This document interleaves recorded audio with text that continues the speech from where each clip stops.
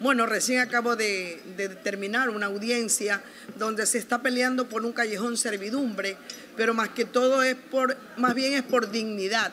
Y el representante de la parte denunciada, un doctor eh, de aquí de Puerto Viejo, me decía que cuando ya están los casos en la parte civil, como ya se termina la competencia de la doctora Bellalucas o de la unidad de atención al ciudadano, está equivocado, le dije, porque aquí esto es para atender al pueblo.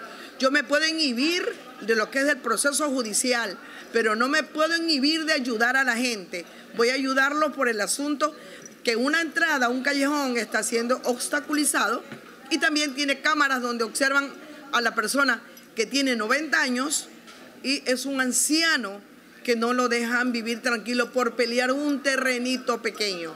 Entonces, esas son las cosas que me hacen que, que me duelan en el alma. Cuando los hijos no tienen corazón, cuando los hijos creen que ese padre tiene que morirse para poder pelear esa tierrita, Dios mío. Problemas familiares, créame, no uno, cualquier cantidad. Pero gracias a Dios estamos resolviendo todo. Ayer estuve en la parroquia Crucita, en los Arenales propiamente, donde hay un problema tremendo también. Han cogido un callejón, han construido dentro del callejón y la gente que está atrás ya no puede salir. Ahora acaban de poner de cerrar, hacer un cerramiento de hormigón, donde ayer lo clausuramos, de hormigón, para que la gente de atrás no pase. No tiene, la gente no puede volar.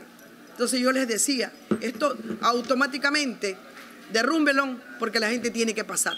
Como estaba recién hecho y estaba, no lo habían concluido, gracias a Dios no lo habían concluido, si no, no se hubiera podido hacer nada, porque es una obra cierta, es una obra ya, ya hecha. En otros casos hubiera sido, hubiera sido peor, pero sí se pudo llegar a un arreglo, a un acuerdo, el Señor entendió y para evitarse un, juicio penal, le dije, Señor, y un, un juicio civil, ¿qué es lo que compete? Por favor, deje pasar.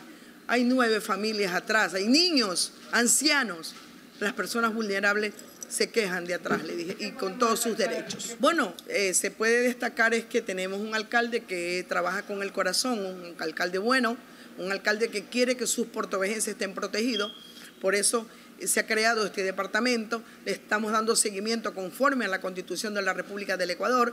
En su artículo 190 habla de conciliar, de hablar, de llegar a acuerdos, solucionar todo lo que más se pueda pero bajo los parámetros legales. Aquí nosotros no podemos decir se nos antojó hacer esto. Es todo basado en la Constitución de la República del Ecuador, nuestras ordenanzas y estatutos que han sido creados para poder nosotros desde acá ayudar al pueblo portovejense.